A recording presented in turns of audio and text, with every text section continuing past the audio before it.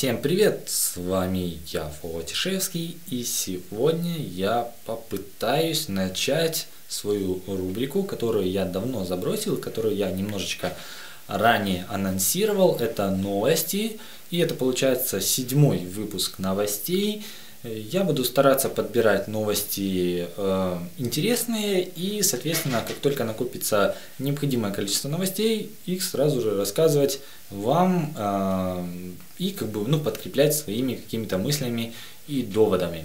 Первое, что хочу сказать вам, это то, что в апреле компания OnePlus, это, можно сказать, э, является дочерней компанией Э, OpaFind, э, точнее человек, который работал в OpaFind, ему захотелось открыть новую конторку, и он открыл OnePlus. Конечно же, денежек он подсуетил у Опа, соответственно, они как бы ему помогли, долю какую-то наверняка имеют, 100%. В общем-то, эм, я бы не сказал, что OnePlus выстрелил в продажах, потому что еще даже миллиона, насколько я помню, они не продали спустя год, практически год. А, но зато он нашумел и многим, многим, многим он очень сильно понравился. Во-первых, цена 300 там, чем-то долларов. Во-вторых, э, ну, как бы какие-то такие интересные вещи там есть. Лично я ничего интересного в этом OnePlus не увидел, не ощутил. Э, у меня даже вот сейчас там лежит на столе GIUS 3, который на порядок, на порядок интереснее и более привлекательный, как по мне, э, ну и стоит, соответственно, дешевле. Но есть еще как бы некоторые продукты, которые представила OnePlus. Это портативный аккумулятор на 10, там 500, по-моему, или просто на 10 тысяч. И еще какие-то аксессуары, и все это, возможно, будет еще дополнительно анонсировано и представлено вместе с презентацией нового флагмана. Э, подождем, увидим, посмотрим. Лично я хотел бы, чтобы они что-то сделали более прорывное, нежели в предыдущем году. Далее, следующая новость, касающаяся компании HTC. Э, да, презентация прошла, презентация прошла красиво. Я даже захотел купить HTC One M9, но ценник, конечно, достаточно кусучий. Я думаю, что вряд ли я его приобрету, но, но э, многие ждали большого аппарата, ждали, что будет какой-то HTC One M9 Plus, и вы знаете, HTC решили, что наверняка все-таки стоит сделать этот M9 Plus, и даже появились фотографии, всякие разные рендеры, пресс, там какие-то релизы, какие-то утечки и так далее, что в конце марта будет презентовано э, что-то у HTC. Возможно, это будет смартфон с кнопочкой.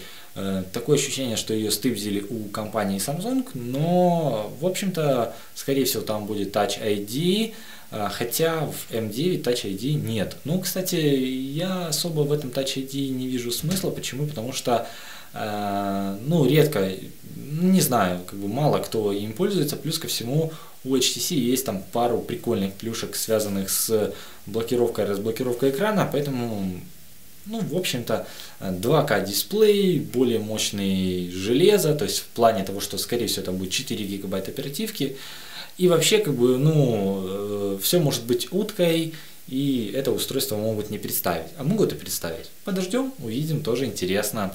Следующая новость это э, про Apple. Вы знаете, что Apple провела презентацию 9 марта, там презентовала новый MacBook, презентовала цены на часы, анонсировала сроки и даты продаж.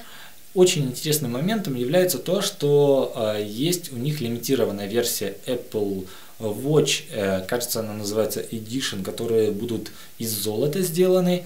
Э, интересным фактом является один из там, аналитиков посчитал, что если Apple э, продаст э, почти миллион э, этих часов, дорогих, хотя я сугубо сомневаюсь, что за 10 тысяч долларов продадут по всему миру миллион за этот год, но если они в совокупности там за ближайших пару лет миллион этих эдишенов продадут, во-первых, они заработают денег нехило, нормально так хорошо заработают, но и они сделают очень такую пакостную вещь, то, что э, цена на золото вырастет, потому что появится как бы дефицит золота, э, приблизительно там потребуется сколько-то там 700, около 700 тонн э, золота, э, с учетом того, что за год вырабатывается во всем мире, добывается 2000 тонн золота, то есть это треть всего золота, э, которое добывается на планете, и им потребуется компания Apple, и это создаст определенный дефицит на конец 2015, даже на 2016 год. Э, ну, возможно, даже на 2015 забавная такая ситуация, что какая-то технокомпания создаст, э, возможно, создаст, если, конечно, они, предположим, они продадут действительно миллион э, золотых часов, создаст всемирный ажиотаж на золото. Забавно. Но как факт, интересно. Я думаю, что можно будет подождать и посмотреть. Э, многим из нас это вряд ли грозит, но, ну, я имею в виду там почувствовать этот дефицит. Но это прикольно, это реально прикольно. Далее, предпоследняя новость, касающаяся э, умных часов тоже. Э, да, Apple Watch э, стоит от 349 долларов. Наверняка э, мало кто из нас захочет купить себе такие часы, в плане того, что цена дороже большинства смартфонов и даже вместе взятых планшетов, то есть, к примеру, возьмите, приплюсуйте стоимость вашего смартфона и планшета, сколько они у вас в долларах выходят. Не у всех наверняка даже будет 349 долларов, но суть не в этом. Суть в том, что Пипа выпустила, такая есть компания китайская, второе поколение своих часов, C2 модель, которая стоит от 32 долларов э, на Алишке, я думаю, что они будут от 40-45 долларов продаваться, ну, для того, чтобы там наценки, за доставку и так далее. В общем-то, мне кажется, это интересным тем, что... А, вот, что самое интересное, то, что они работают на Android Wear. Это наверное, самые из мне пока что на данный момент э, знакомых мне э, часов на Android Wear. Самые доступные, то есть 32 доллара от производителя, и там посмотрим, сколько они будут э, на выходе стоить. В общем-то, есть смысл заказать. Я сначала подумывал о LG G-Watch, который стоит э, 150 долларов, в Америке можно купить. Но сейчас подумываю о этих пипа чисто из-за как бы вот формата, то, что они стоят недорого, и там Android Wear. Это интересно, это реально интересно. И я думаю, что э, такое видео у меня будет. До начала лета точно будет. И последняя новость, связанная с компанией Xiaomi или Xiaomi, неважно. Суть заключается в том, что 12 марта, а это очень скоро, или возможно вы уже смотрите после 12 марта 2015 года, они презентуют новые продукты для индийского рынка. Э, ходят слухи о том, что как бы MiPad официально там завезут, начнут продавать, но есть как бы вариант, что они что-то еще новенькое закинут. Есть вариант то, что они забацают смартфон за 63 доллара.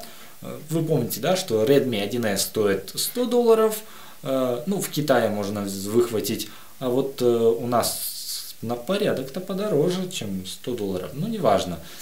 Суть в том, что можно купить на AliExpress и так далее. Так вот, так вот, Xiaomi 63 доллара смартфон с HD экраном с четырехъядерным процессором и гигабайтами оперативной памяти, который будет по внешнему виду очень схож с Redmi 1S и а, еще может быть что-то интересное. Вот такие вот новости на сегодня. Я надеюсь, они были интересны для вас. Если вам нравится эта рубрика 150 тысяч лайков, куча позитивных комментов, бросайте в комменты. И, конечно же, еще увидимся с вами в новых видео, новых обзорах и так далее. Всем пока!